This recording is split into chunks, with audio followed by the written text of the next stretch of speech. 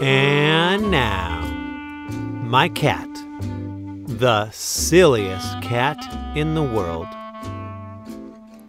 Written and illustrated by Gilles Bachelet. My cat is very fat, very sweet, and very, very silly.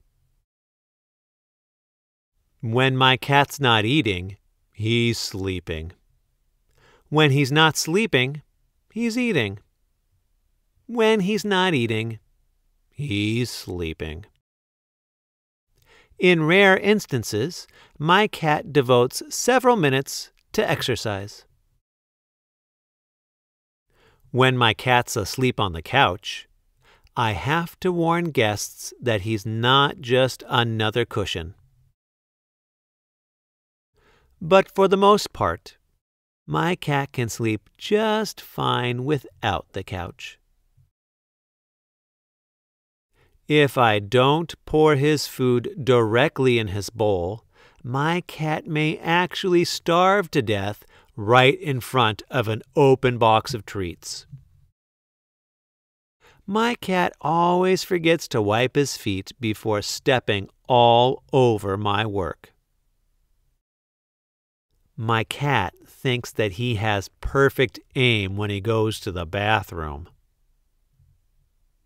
Aside from that, my cat is clean. Very clean. Extremely clean. Almost excessively clean. Bordering on vanity.